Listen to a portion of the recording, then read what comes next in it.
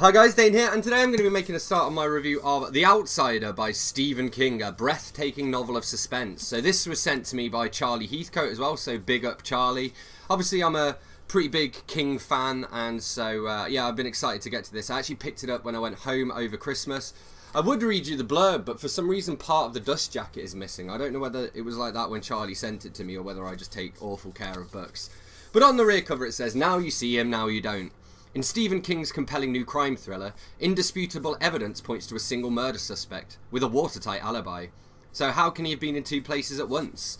So I guess my main issue with this is that you know that like this guy was in two places at once basically and if you've read any King before you can pretty much guess how that could be, you know?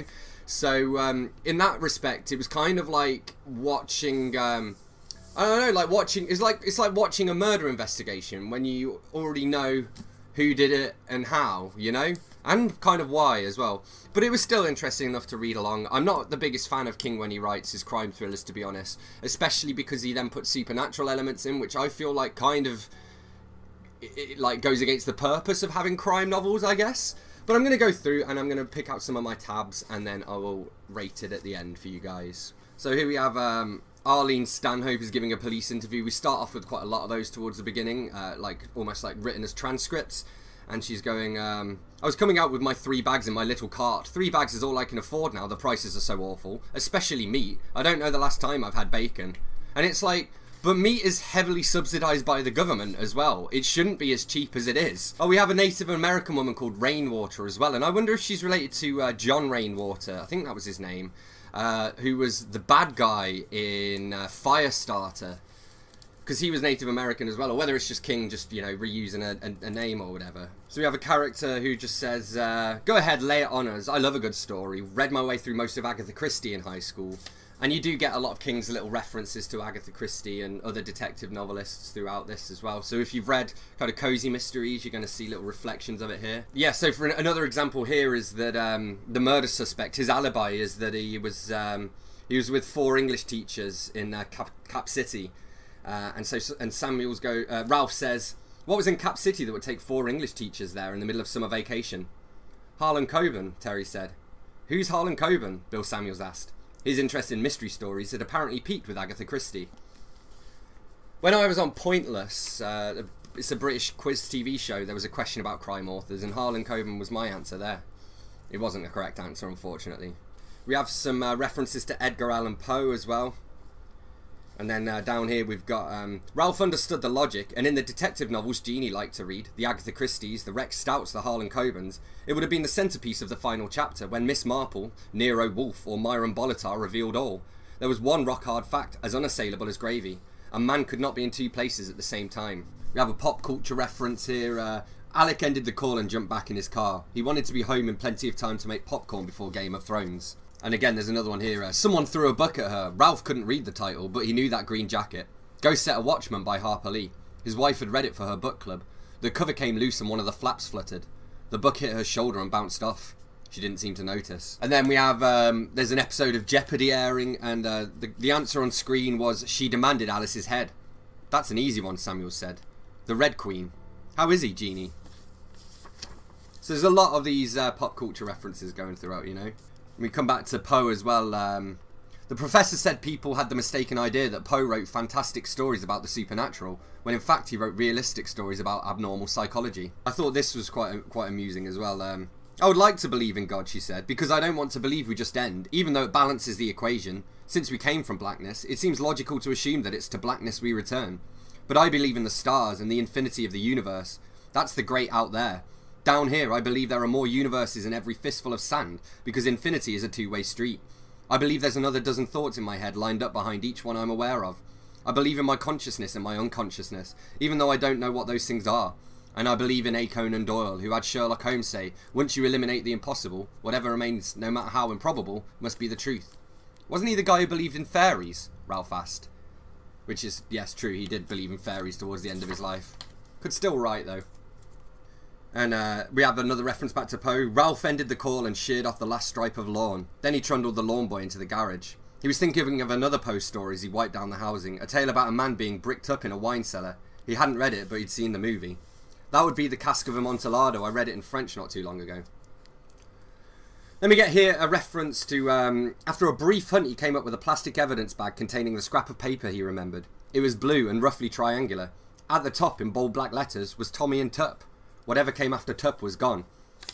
And like they're like, oh, I don't know what it is. Uh, mean anything to you? Nope. And someone points out correctly, Tup is old-timey British slang for screwing, I think. As in, I tupped my girlfriend last night, mate. But I can't think of anything else. And um, when he uh, when he calls Jeannie and she says it could be Tommy and Tuppence, they were cutie poo detectives Agatha Christie wrote about when she wasn't writing about Hercule Poirot or Miss Marple. And so yeah, it turns out to be a British themed cafe. But I'm just like, ah, like, you know, I would have thought people would have known that. I don't know. The ones who are, well, this is just again his way of tying it back into crime and stuff, but it's kind of annoying as a reader when you know it, but the, the characters don't, I guess, you know?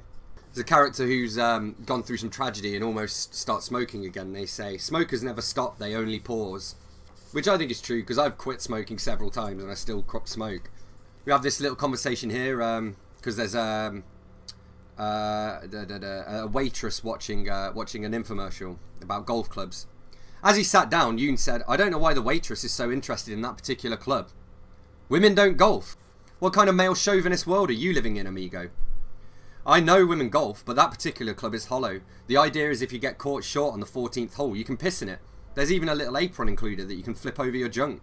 Thing like that wouldn't work for a woman. Okay, well unfortunately the file got corrupted, so I missed one or two of the tabs that uh, I'd highlighted, but it doesn't matter, we'll just keep cracking on. I've got a few more, and then, um, uh, yeah. So uh, as the story continues, we kind of focus on the hunt for the outsider. I'm not going to bother explaining all the mythology behind that because, I don't know, that's kind of again, I think I said this towards the start that you you know where it's going, so that I don't want to explain who the outsider is because that's kind of the mystery of the novel as opposed to who actually did it, if that makes sense.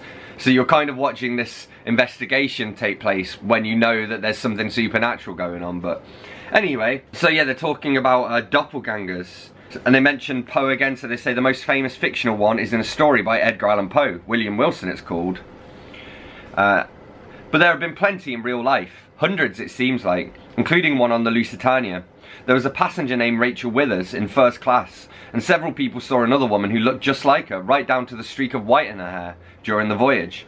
Some said the double was travelling in steerage, some said she was part of the staff. Miss Withers and a gentleman friend went looking for her, and supposedly spotted her only seconds before a torpedo from a German U-boat hit on the starboard side. Miss Withers died, but her gentleman friend survived. He called her doppelganger a harbinger of doom, the French writer Guy de Maupassant met his doppelganger one day while walking on a street in Paris. Same height, same hair, same eyes, same moustache, same accent. Well, the French, Alex said, shrugging. What do you expect? De Maupassant probably bought him a glass of wine. So for a while there's um, this mystery with these uh, fist tattoos which say uh, can't and won't. And um, so Holly shook his hand last and said, those tattoos on your fingers, are they about drinking? Right, Ralph thought. That's one piece of the puzzle I forgot to take out of the box. Yes, um, that's right. Bolton spoke like someone teaching a well-learned and well-loved lesson. The big paradox is what they call it in AA meetings down here. I first heard about it in prison. You must drink, but you can't drink. I feel that way about cigarettes, Holly said. And so now they're chasing uh, the outsider and uh, someone here snaps, uh, someone here goes, what if he has a helper? Tell me that. Count Dracula had that guy Renfield. Dr. Frankenstein had a hunchback guy, Igor. Holly said, that's a popular misconception. In the original Frankenstein movie, the doctor's assistant was actually named Fritz, played by Dwight Frye. Later, Bela Lugosi. I stand corrected Howie said, but the question remains, what if the outsider has an accomplice? So yeah, I think that's about all I want to share from this. All in all, I mean, it's okay. I gave this a 3.5 out of 5. This would be pretty good for anyone who wasn't King, but for King, I just feel like he's capable of so much more, you know? Uh, it's just, I've just had that feeling with all of these books really. Apart from Mr. Mercedes, I did really enjoy the first Bill Hodges book, but it just kind of, I guess that was because it felt different and now it's, it's just starting to feel formulaic for me. Having said that, I mean, it was a fair, fairly well told story and um, yeah, I mean, it's alright, it's just not King's best, you know? So we have it, that's what I thought of The Outsider by Stephen King. As always, don't forget to let me know in the comments what you thought of this book if you've read it.